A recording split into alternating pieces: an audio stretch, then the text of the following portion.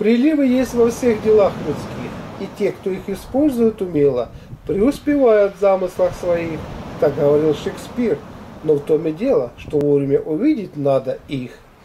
И вот мы с вами поговорим, как увидеть эти знаки, чтобы преуспеть в жизни. 14 сентября – День Симеона Столпника, назван в честь преподобного и богоносного отца нашего Симеона Столпника. Волею случая он попал в храм, где услышал службу и уверовал в Бога. После этого он стал молиться и просил Господа указать, как ему жить. В тонком сне ему была подсказка. Сначала он поселился в ближайшей обители, затем удалился в пустыню. Сам Симеон положил начало новой форме подвижничества, столпничеству. Он стоял на высоком столбу и молился в течение 80 лет. В этот день начинается старое бабье лето Марфина. Продолжительность его неделю с 14 по 21 число. Крестьяне старались убрать все яровые до сегодняшнего дня, которые еще называли днем Семена летопроходца. Если этого не сделать, посевы могли погибнуть из-за плохих погодных условий. И вообще к этому дню зерна из колосьев выпадают сами. С этого дня крестьяне выпускали скот на поле. Хозяйки были заняты домашними заготовками, шкатулками, солили огурцы и прочее. Вообще к этому дню надо было закончить все дела и все сделки. Считалось, что после этого срока все предприятия будут неудачными. Семенов день считался счастливым. В это время переходили в новый дом, справляли новоселье. Было такое обычай. Сегодня мальчикам, которым исполнилось 4 года, садили на лошадей и катали на них. Этим отмечали вступление во взрослую жизнь. Сегодня же детей из 3 Стригеле. С этого дня начиналась пора свадеб. Для этого устраивали гуляния с хороводами. Женихи выходили во двор для того, чтобы присмотреться к невестам. Пекли пироги, накрывали столы и звали гостей. Так продолжалось аж до 28 ноября. Приметы. Если на Семен день погода теплая, то вся зима будет теплая. Если на Семен день ветер дует с южного края, зима будет гнилая и теплая. Если ветер несется из-под солнца, зимой ветры будут с севера. Если гуси уже улетели в теплые края, зима наступит рано. Погода дождливая сегодня, осень будет такой же. Много паутины, осень будет сухой и длинной. Вот мы сейчас так и будем делать. Так, у нас, Что э, нам надо? нам нужна еще одна. Э, Вот здесь я могу резать прямо на тарелочке, да? Ну, можно на тарелочке. Давайте, а вы можете здесь уже помогать мне. И разрезаем наш Да. патронтаж. Опа. Не забывайте, что у нас э, тоже будет э, две волны вот этого мяса. Мгм. Первая волна будет. Ух ты. Так. Я правильно режу? Да-да-да, все правильно. У меня Так. что-то не получается. У меня не такой нож. Что, не такой нож? Вот Какой-то- он ножик. Давайте попробуем. Так, а я возьму тогда вот этот нож. Попробуем. Он, наверное, просто-напросто маленький. Да, у меня что-то он на, на косточку нарывается. М, На косточку нарывается. А я привык между резать. А, вот это вот здесь уже кусочек хороший. Давайте я пока с этих начну. Давай. Я левша, поэтому вот если у меня левой рукой у меня все в основном дело. Кстати, а как начиналась ваша э, творческая карьера, скажем? Вы там на каком-то конкурсе были? Я знаю, что после того, как вы на нем стали лауреатом, он и закрылся, тем самым отметив вашу знаменательность. Все, после меня, как говорится, хоть потом. Игнатий Григорьевич, вы не поверите, но именно так и было. Это был последний всесоюзный конкурс артистов эстрады, потому что конкурс артистов эстрады первый э, проходил Мгм. в 1939 году, где Аркадий Исаакович как раз выступал с Риной Зеленой. Был такой замечательный дуэт. И вот с того времени потом война помешала, на 4 года опять конкурс пропал, потом после войны он опять продолжился. И вот в 1987 году был последний всесоюзный конкурс артистов эстрады. Через 4 года, увы, э, Советского Союза уже не было, и поэтому всесоюзного конкурса больше уже э, не проводились. И я как раз там оказался на этом конкурсе. Э, Мне очень сильно помог писатель сатирик Георгий Териков, написал для меня замечательные тексты для ведения программы. И А, Валерий Семенович Жак. Да, и был тогда членом жюри, был замечательный, обожаемый всеми нами Борис Сергеевич Брунов. И тогда что? директор театра эстрады. Это один из немногих людей, который мог шутить на национальные темы, и это не было никогда обидно. Мне он, например, сказал такую фразу. А, Аванесян, сегодня решается главный вопрос. Либо ты сегодня станешь лауреатом, либо останешься армянином. Значит, так получилось, что лауреатом, лауреатом я не стал, но стал э, дипломантом Всесоюзного конкурса артистов эстрады. И вот с того времени, и больше я уже не хотел никуда уезжать. Я остался в Москве навсегда. А сам из какого города? Я сам родился в Баку, угу. но уехал оттуда в 85 году на один из конкурсов, где я, кстати, с грохотом провалился, потому что был абсолютно не готов. А что там надо было делать? Что-то вот, как, как, Ну, во-первых, надо было удивить, удивить жюри. А как ты удивишь жюри, когда э, в жюри сидят такие величайшие люди, как Аркадий Исаакович Райкин, mm-hmm. Алексей Столбов, знаменитый э, главный э, э директор был э, Фитиля Столбов, Борис Сергеевич Брунов, замечательный конферансье, да и масса режиссеров, талантов. Все, давайте мы будем вот сейчас уже аккуратненько вот сейчас будем вот как раз на эту зелень. Угу, на подушечку. Все, это, все вот да, да, так мы выкладываем. Так, вот я сейчас, то, что у нас уже готово, это я не буду трогать. Да? Так, вот это положу. Мы знаете, как вот сейчас сделаем? Туда будем доливать немножечко? Давайте пока не надо ничего делать, значит, это Она, в самом конце. соку начнется. Да, я, знаете, я думаю, что водичку мы в самом финале, я скажу, сколько, э, там совсем немножечко, для того, чтобы э, а, мясо получилось сочным. Хотя я говорю еще раз, э, многие есть люди, которые любят сами, вот, например, когда не добавлять ни капли, но это опять-таки на любителя.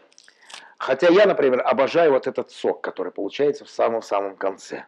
Ну что, Геннадий Петрович, а давайте вот это... особо ценная вещь. Почему? Это как раз Ой, экстракт там, значит, и минеральные соли, потому что вот они как раз выделяются и из мяса. А из мяса выделяются экстрактивные вещества, которые возбуждают аппетит.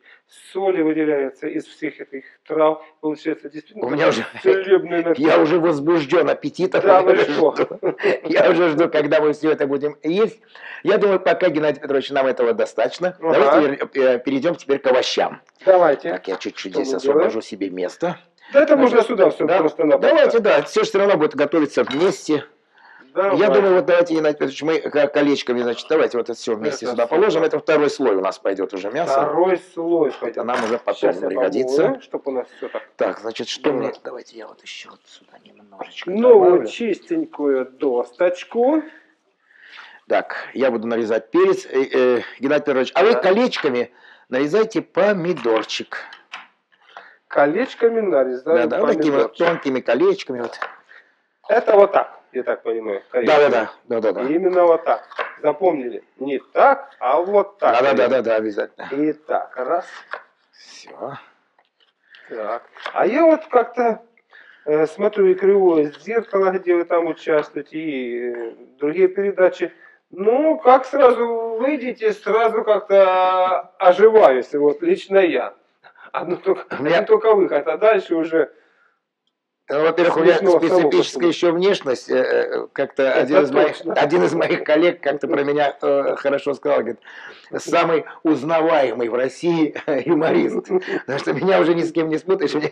Я помню, когда Михаил Евдокимов сделал впервые передачу, тогда называлась она «С легким паром», я да, всего в одной передаче выступил, всего в одной передаче. Рассказал несколько анекдотов, как меня уже на утро уже в булочной узнавали все. То есть, вот, но э, здесь есть вторая сторона медали. Я недавно обратил внимание, Геннадий Петрович, на ага. такой момент, для меня очень болезненный. Я был недавно у себя на родине, в Армении. Гуляю по угу. городу, и вдруг меня никто совершенно не узнает. Мне стало так обидно больно. Говорит, как это так? На родине меня не знают. А моя жена очень тон, тонко и остроумно заметила. Она говорит, а что ты хочешь? Посмотри по сторонам. Ты попал в город своих двойников. Все похожи на меня. И я положу сюда. Так, ну что, вот мы сделали, первую, сказать, самое. Теперь пошло все это по второму кругу. Помните, я говорю, первая прослоечка. Первая положили вот, давайте мы покажем вот так укроп, потом мясо, Дальше у нас бараньи ребрышки ягнячьи. И теперь вторая волна. Вот вторая волна. Опять а -а -а. вот это мясо мы кладем. Так, Давайте а я опять немножечко. нарезаю чуть -чуть. петрушку. Давайте, да, вот дорежем петрушку. И, кстати, можем добавить сюда еще и кинзу. Уже, а, она Добавьте. нужна будет уже для финала. Для финала. А что делает там кинза вот она еще? Ну, она тоже, э, любая зелень, она все равно она э, дает какой-то очень э, аромат хороший. Кинза тоже, она, я, например, кинзу люблю, честно говоря, не в вареном, не в таком виде, отварном, скажем, а обожаю ее именно в сыром виде. В сыром там она больше, вот этот дух у нее там специфический, потому что все это улетучивается. И она, естественно, тогда, помимо того, что она помогает что-то там переваривать, она еще дает и здоровиться.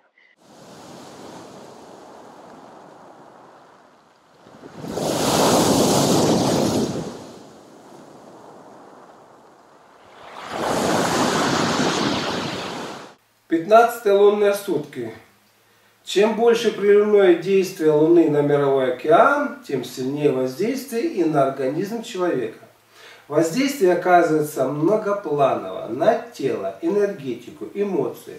Так в эмоциональном плане, помимо желания человека, активизируются разного рода плотские наслаждения. И человек бессознательно тянет во что бы то ни стало удовлетворить их. В это время важно сохранять самоконтроль и самодисциплину. Иметь понятие, что это влияние приливного действия Луны, а не собственная потребность. В питании шире используйте плотную горячую пищу с вяжущим вкусом из бобов, гороха. А жидкую холодную пищу лучше избегайте. Ввиду повышенной циркуляции жидкости в организме откажитесь от любых хирургических вмешательств.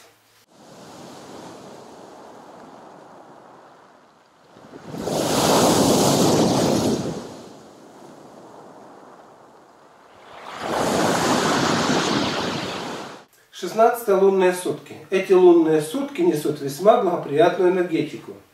Ее действие больше оказывается на душевное качество, чем на телесное. Рекомендуется погрузиться в эти ощущения и не делать ничего, что их стирает. Поэтому любые действия, вызывающие нарушение эмоционального спокойствия, крик, раздражение, грубое, вызывающее поведение, громкая музыка и другое должны быть сегодня исключены. Из физических упражнений и нагрузки рекомендуются простые, спокойные, Плавное движение, спокойная нагрузка. Пища должна быть вкусная, но без специй, которые волнуют энергетику и сознание. Теплые водные процедуры, прогревающие и расслабляющие, весьма показаны. Благодарю за просмотр. Если вам понравилось видео, ставьте лайк, звоните в колокольчик и подпишитесь на канал. Ваше участие развивает канал – и способствует его продвижению. Вы можете посетить бесплатно мою авторскую библиотеку на сайте Малахов Про. Доброго здоровья и до новых встреч!